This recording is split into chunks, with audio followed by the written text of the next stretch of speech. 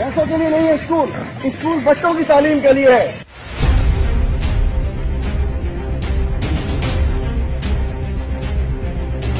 और आज से वादा करते हैं इंशाल्लाह पूरे सिंध से जानवरों को स्कूलों से बाहर निकालेंगे। चलो भाई चलो। चलो, चलो, चलो। खुश खुश। चलो भाई चलो निकालो स्कूल वादा कर दो।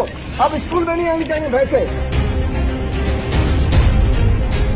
दो फरवरी है 2021 स्कूल इन्होंने खोलने का ऐलान किया और यह स्कूल तो नहीं खुले। भैंसे जो है स्कूल के अंदर बंधी हुई है। ये है हमारी सिंध की एजुकेशन, ये है हमारे सिंध के स्कूल, ये है हमारे सिंध की तबाही। ये सिंध की एजुकेशन का तबाह हाल है। ये है सिंध के एजुकेशन का हाल। और ये देखिए, ये स्कूल का हशर, ये यहाँ गोबर पड़े हुए हैं। सईद गनी साहब ने कहा कि जी, पहली फरवरी से स्कूल खुल रहे हैं, बच्चे पढ़ रहे हैं। मुझे उम्मीद थी कि आज यहाँ बच्चे पढ़ रहे होंगे। लेकिन अफसोस, आज मैं गरीबाबाद गर्ल्स स्कूल में जब आया तो बच्चों की बजाय आज भी भैंसे मिली यहाँ में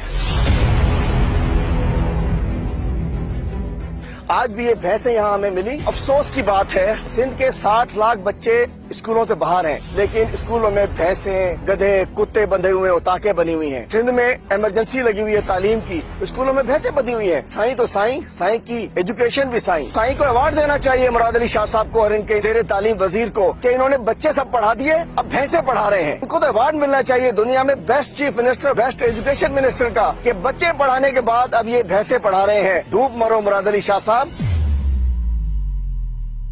करोड़ों की लागत से ये स्कूल तैयार हुआ, आप देखिए। ये देखिए यहाँ से। ये स्कूल इधर से स्टार्ट हो रहा है। इतना बड़ा स्कूल है और इस स्कूल के अंदर सैकड़ों की तादाद में भैंसे पढ़ाई जा रही है और आज हमने वादा किया अपने आप से कि इंशाल्लाह पूरे सिंध में कैंपेन चलाएँगे, जहाँ भी जानवर बंधे होंगे, जहाँ भी उताके बनी होंगी, जो स्कूल बंद पड़े होंगे, इंशाल्लाह खुलवाएँगे। भैंसों को, जानवरों को, उताकों को खत्म करा के इंशाल्लाह बच्चों को पढ़वाएँगे।